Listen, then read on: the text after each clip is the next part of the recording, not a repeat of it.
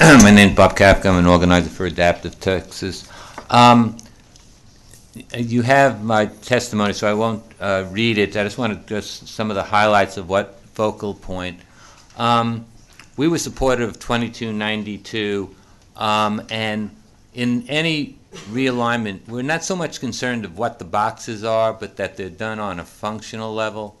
I think what, what has happened is we've siloed so much. And two particular illustrations, we think long-term services and supports with community being a focus, and obviously uh, integrated competitive employment is just two illustrations.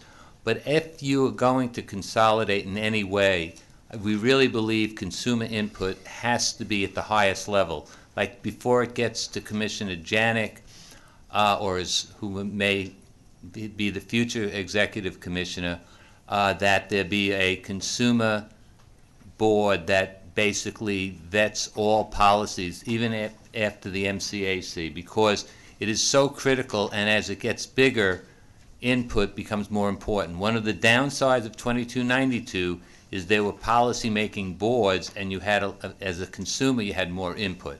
And so as these, the new recommendations, whatever the boxes are, we, you must definitely talk about uh, having consumer input.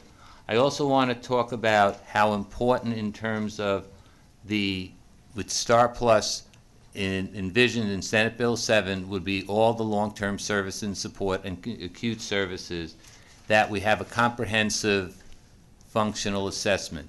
Again, I spoke earlier about we don't need silos based on what your governmental label is, but what your functional need is. So, uh, as an illustration, if you need cognitive assistance, it doesn't matter if you were born with that need, had a brain injury at age 25, or a stroke. You, you, if you need assistance with financial management, and a comprehensive functional assessment is critical because if you don't have that foundation, you can't ever get a delivery system where you have providers competing based on service need, not on labels. And right now, our provider industries are competing. You have various different labels based on categories, not on what they necessarily provide, because many of them are different. And what ha- ends up happening is even the wages of workers are, you know, varied for the exact same work. So that's why we were so supportive of Senate Bill 7.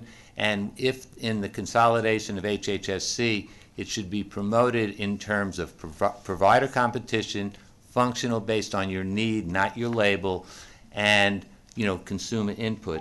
And the last I want to talk about is just on com- integrated employment.